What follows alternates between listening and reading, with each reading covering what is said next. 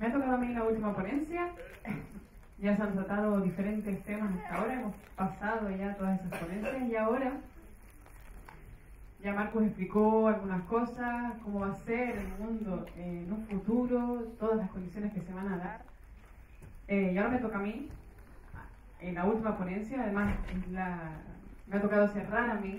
Y tengo que reducirla mucho en tiempo para centrarnos, así que me voy a centrar en Suecia, en la situación de Suecia eh, a nivel educativo.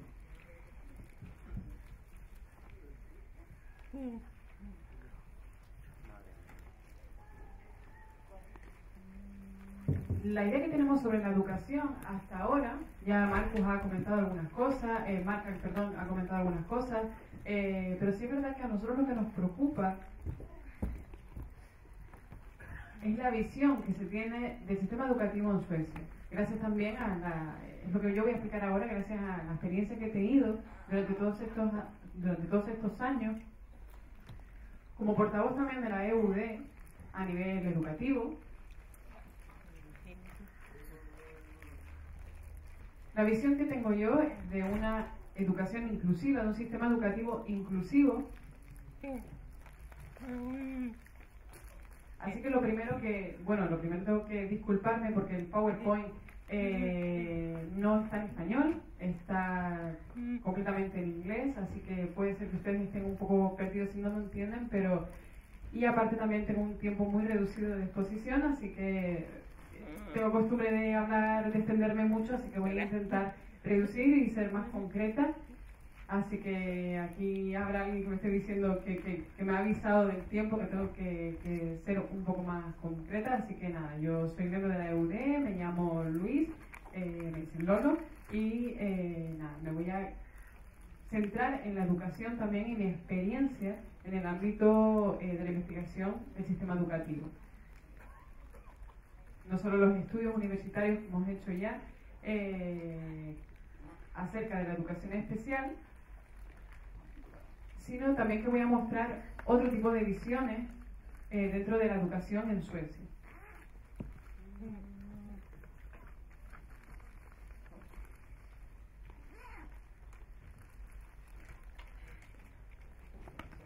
Hasta ahora en Suecia, eh, en el ámbito de la educación especial, siempre se tenía eh, una mentalidad de centrarse en una educación oralista o la educación bimodal.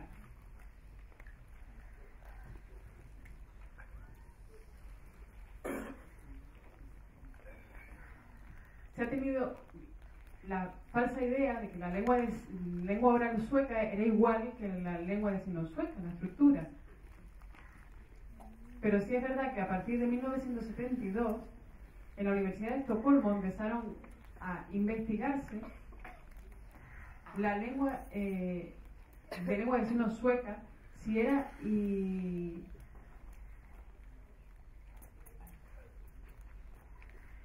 si tenían diferentes estructuras, la lengua de signos sueca con la lengua de signos, perdón, la lengua oral sueca, eh, y empezaron estas investigaciones hasta que hasta el año 1981 que se reconoció ya eh, que la lengua de signos sueca era una lengua en sí. A partir de aquí, de este año, y ya en 1983, se eh, añadió en la Constitución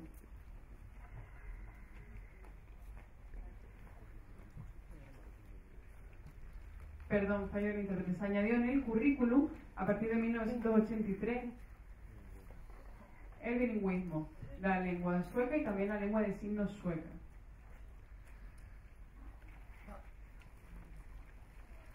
Y seguimos así hasta el año 1994, que ya la lengua de signos tuvo el mismo estatus que la lengua oral sueca.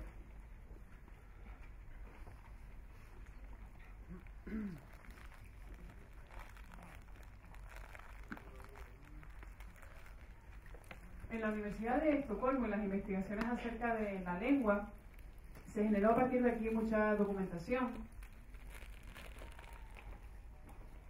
Y el profesor, perdón, la profesora Brita Berman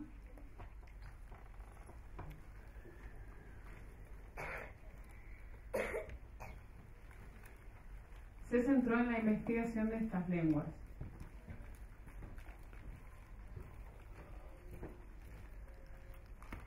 Y también la lengua escrita sueca, dejando de un lado el oralismo, sino empezó a investigar eh, a través de una nueva investigación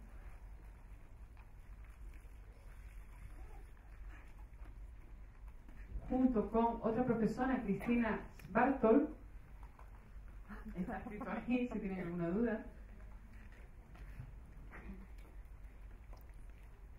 Todos modos, antes presentó Marcos una foto de una mujer que era responsable, que era profesora en Suecia eh, y eh, presentó la lengua de signos como segunda lengua de Suecia y también eh, la, lengua escrita, separándola de la lengua escrita también. Y lo que hizo fue investigar por cada lado las dos lenguas para después unirlas. Este, esta, investigación, el objetivo que tenía es eh, tener unos resultados para después poder educar a las personas sordas a partir de esta investigación.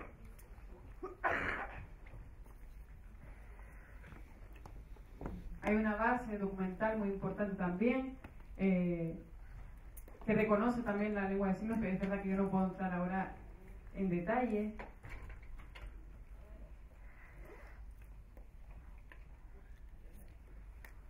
Las conclusiones al final fueron que los niños sordos tienen que tener una educación bilingüe.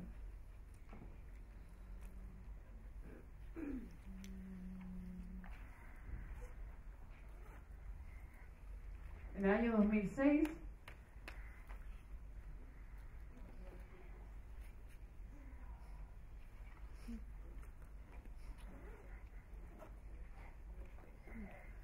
aumentar el, el, número de niños con implante coclear y también con uso, con uso de la lengua de signos. Y esto fue también gracias a las investigaciones eh, que se hicieron como minorías lingüísticas.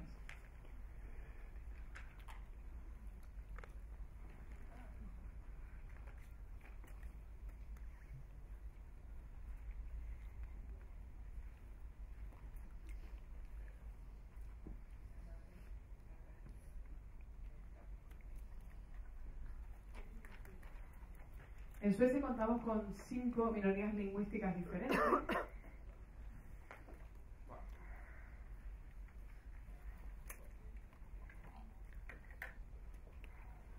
En el año 2006, ya la, la lengua de signos sueca, a través de las investigaciones, tuvo un reconocimiento que se hizo legal y se recogió en un artículo en el año 2009. El gobierno reconoció que entonces en Suecia contaban con seis minorías lingüísticas. Habíamos pasado de las cinco minorías lingüísticas que existían anteriormente, porque contamos que la lengua Suecia, sueca perdón, no es una minoría lingüística, contamos con la lengua de como minoría lingüística.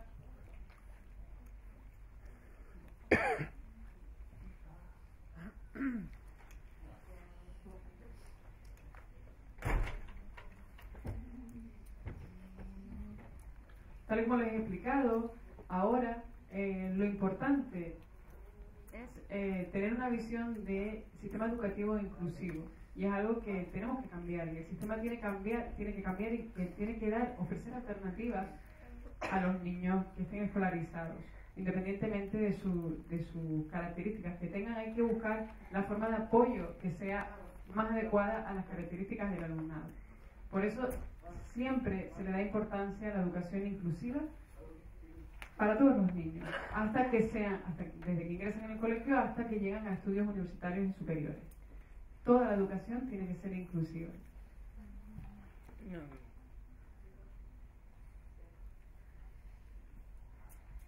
Les voy a explicar ahora, porque sí es verdad que no, no tengo mucho tiempo, los diferentes tipos de escolarización que existen en Suecia. He escogido los más significativos. El primero que aparece, pues los padres que tienen hijos sordos en Estocolmo,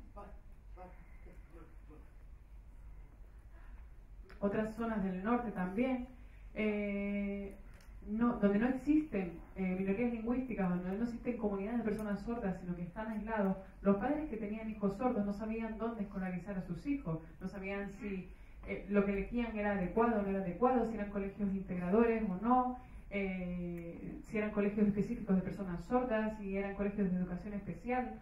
Existían, no sabían dónde escolarizar a sus hijos.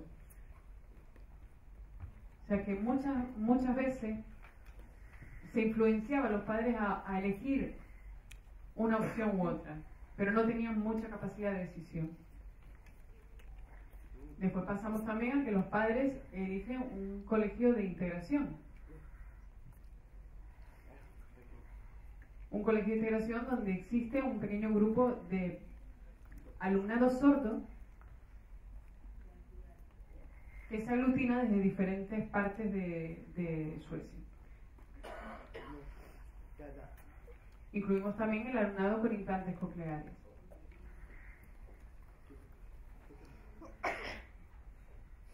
Por ejemplo, tenemos tres colegios que están centrados en, la educación del alumnado con hipocusia. Después también podemos ver colegios específicos para personas sordas que eh,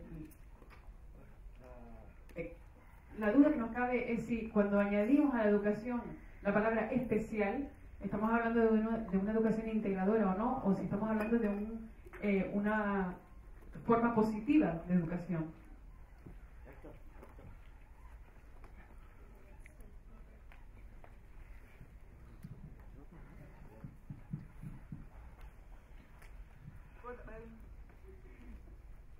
Ahora, eh, las diferentes modalidades de escolarización cuentan a su vez con los apoyos pertinentes. Hablamos de, integración en los diferentes colegios en las regiones para personas con pérdida auditiva.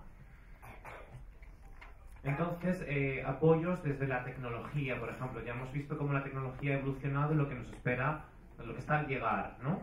Entonces, eh, el, el entorno posibilita adaptar la, tecnología, además de fomentar la, audición de estas personas a través de diferentes dispositivos, em, eh, dispositivos de radiofrecuencia, audífonos, etc. En definitiva, utilizar los recursos tecnológicos para facilitar el desarrollo de la audición. En otros centros, sin embargo, no cuentan con este apoyo. Y entonces eh, es muy difícil para alumnos sordos seguir con normalidad el proceso educativo. Un ejemplo de apoyo visual, y además un ejemplo bastante bueno o no, podemos debatirlo. El profesor está, está explicando y eh, puede ser que el alumno sordo no esté llegando al 100% de, de la información, ¿no? y además eh, visualmente un poco también se fija en el resto de compañeros que tiene al lado, compañeros oyentes dentro del aula, qué están haciendo, ¿no? Porque si el alumno solo no puede seguir al profesor, eh, bueno, pues también se fija, imita a sus compañeros oyentes.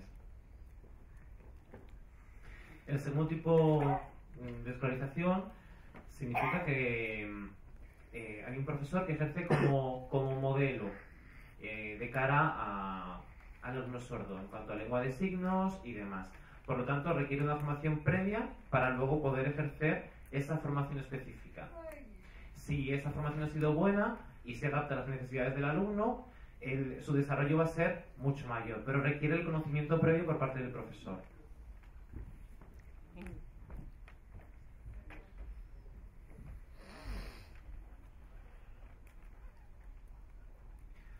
Si se detectan, pues eh, también falta de, información en grupos, importante contar con, con, lengua de signos, personas que sepan lengua de signos, profesorado como formado. eh, personas oyentes signantes, pero a su vez con personas sordas también signantes. En función de las necesidades, eh, para los centros que requieren por proyecto curricular formación en lengua de signos, en función de cada centro, se deriva recurso oportuno. Entonces, a lo largo de toda Suecia, también cada, existen diferencias dialectales de la lengua de signos. Hablando de colegios de integración o de colegios para personas sordas, la mayoría de personas sordas atienden a colegios de, integración. Lo que ocurre es que encuentran modelos mm, oyentes y además con formación específica mm, muy corta en el tiempo y luego la relación eh, con el entorno escolar más amplio. Por ejemplo, es cierto que se implementa las nuevas tecnologías, el uso de videotecnologías, signoblogs, y que esta tecnología ha posibilitado incorporar esos recursos, la experiencia de cada uno de ellos, para luego eh, fomentar un entorno más colaborativo.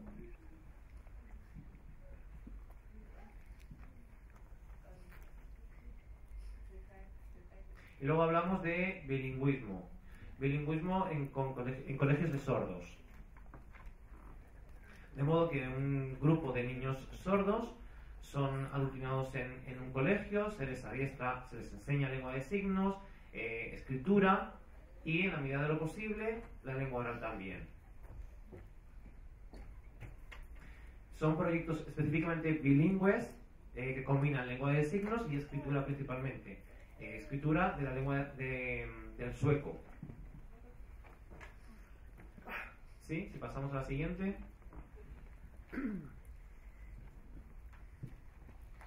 Entonces, por último,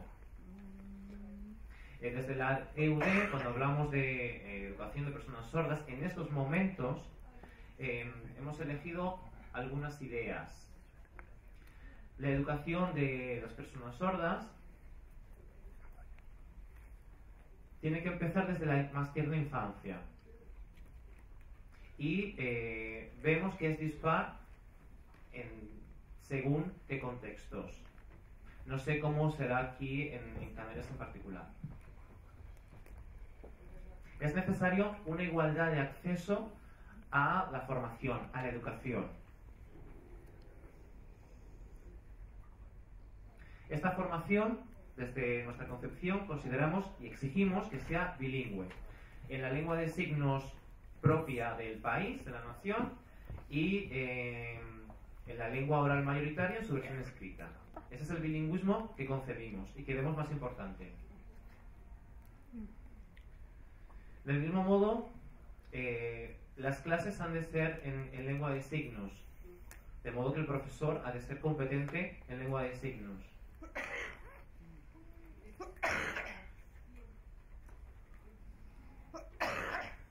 Es necesario contar también con presencia de intérpretes de lengua de signos en el entorno educativo, en el aula. Y por último, promover un entorno eh, con una metodología bilingüe que fomente tanto la lengua de signos propia como eh, la lengua mayoritaria oral en su versión escrita. Por ejemplo, a través de mensajes de texto, videoconferencia, tendríamos dos modalidades para combinar eh, el fomento de ambas lenguas.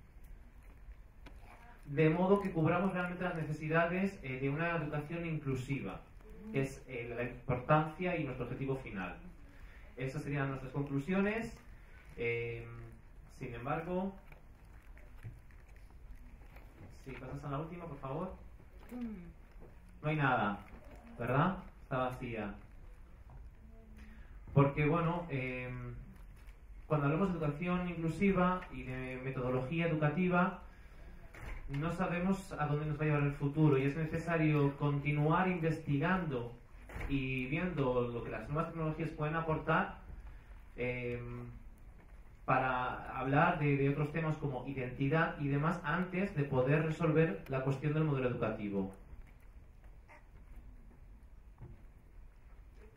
y es necesario estar preparados de cara, de cara a ello.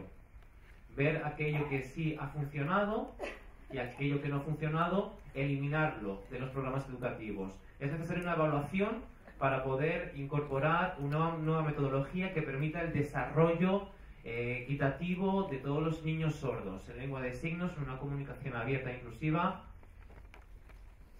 y, en definitiva, esa exigencia para posibilitar eh, un futuro mejor en igualdad. Entonces, el futuro, pues eh, de pensar qué futuro queremos, eh, si la educación es importante, si queremos una educación inclusiva y por eso esa forma de invitar a la reflexión con esa diapositiva vacía. Bueno, yo creo que sí vamos a, concluir. Decirles a todos que muchísimas gracias. Mis 30 minutos han concluido. Gracias.